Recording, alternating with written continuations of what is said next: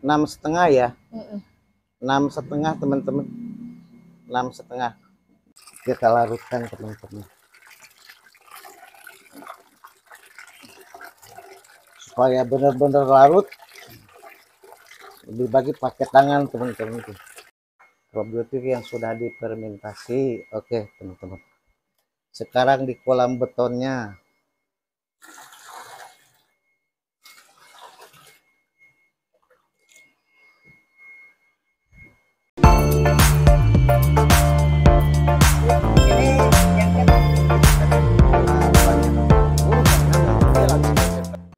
Bismillahirrahmanirrahim. Assalamualaikum warahmatullahi wabarakatuh. Selamat pagi teman-teman. Jumpa kembali dengan channel Nadang Alik. Channelnya tutorial motivasi dan inspirasi dari halaman rumah yang disulap jadi kolam ikan. Halaman rumah yang disulap jadi kolam ikan. Teman-teman, pada kesempatan video kali ini saya akan mempersiapkan kedatangan bibit baru si lucu-lucu teman-teman. Dua jari ya, ada 2000 ekor ya. Ah, ya judulnya kali ini teman-teman ya mencegah lebih baik daripada mengobati. Mencegah lebih baik daripada mengobati. Artinya kita persiapkan ya segala macamnya sebelum ikan itu datang teman-teman.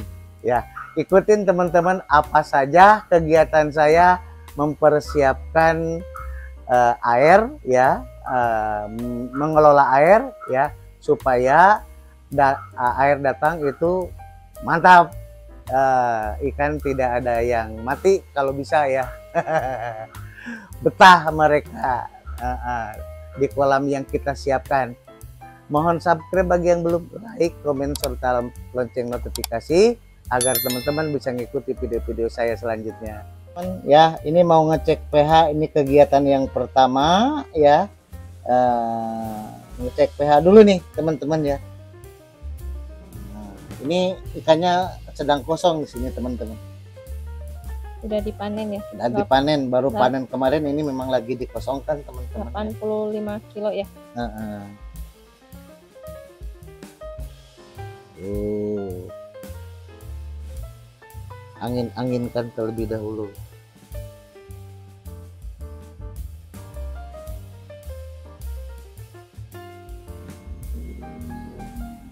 Enam setengah ya, enam setengah teman-teman, enam setengah.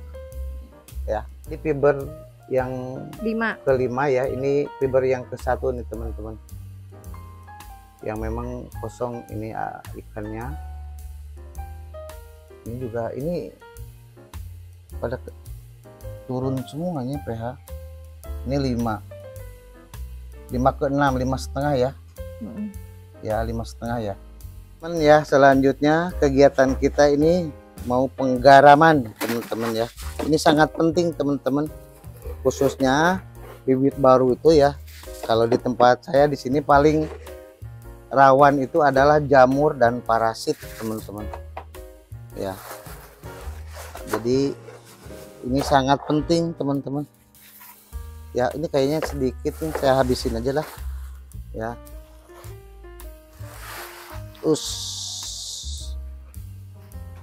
Dicelupin ke kolam pak. nanti dicelupin ke kolam juga ini. Hmm, nanti. Nah selanjutnya ini kapur dolomit teman-teman ya untuk memperbaiki pH ini untuk memperbaiki pH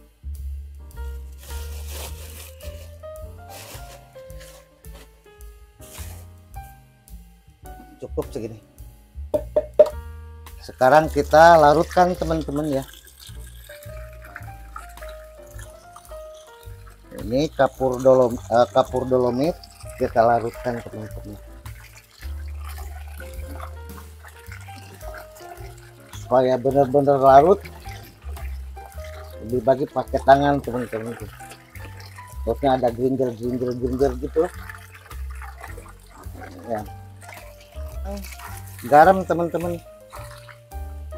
ya garam Dilarutkan. kalau ukurannya tuh garam itu teman-teman satu kilo untuk satu meter kubik kalau yang ini ya itu 50 Kapur. eh, eh, miligram ya per meter kubik.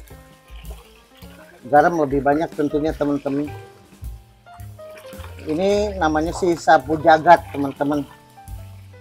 Obat si sapu jagat. Jadi untuk menangkal segala penyakit khususnya kalau untuk bibit ini adalah jamur dan parasit ya teman-teman. Ini probiotik.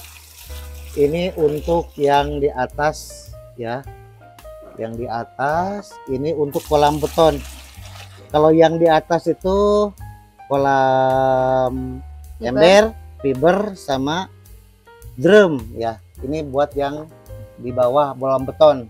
Ini yang di atas. Sambil menunggu itu garam ya prosok sama eh, Kapur dolomit. kapur dolomit ya. Kita mau ngasih probiotik nih teman-teman ya. Ngasih pro- pro- probiotik. Nah, probiotik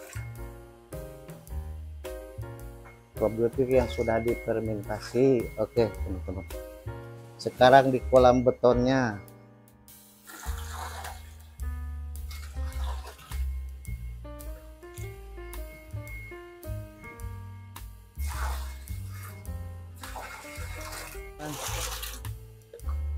Ini kapur dolomit teman-teman. Nanti jadi putih semua takarannya sama seperti probiotik teman-teman.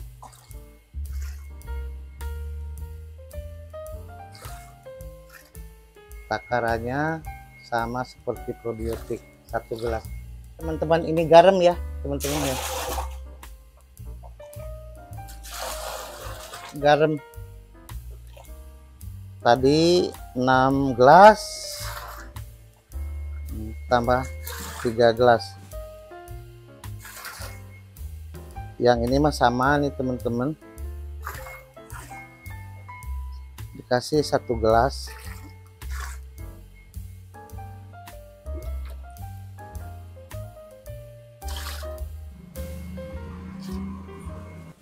Sudah beres ya?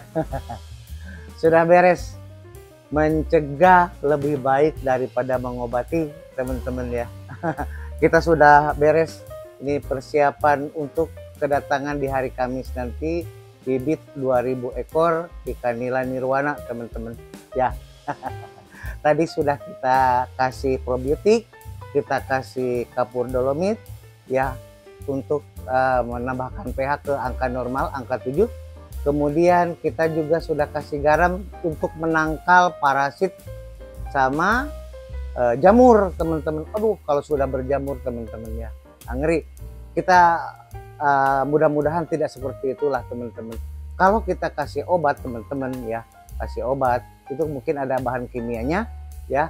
Jadi probi- apa bakteri-bakteri yang lain plankton segala macam tetek bengek itu itu eh, bakteri itu pada mati teman-teman ya. Sayang bioplok kita tuh sayang teman-teman ya. Semoga menjadi inspirasi ya teman-teman mohon subscribe bagi yang belum like komen serta lonceng notifikasi agar teman-teman bisa mengikuti video-video saya selanjutnya. Terima kasih telah menonton. Assalamualaikum warahmatullahi wabarakatuh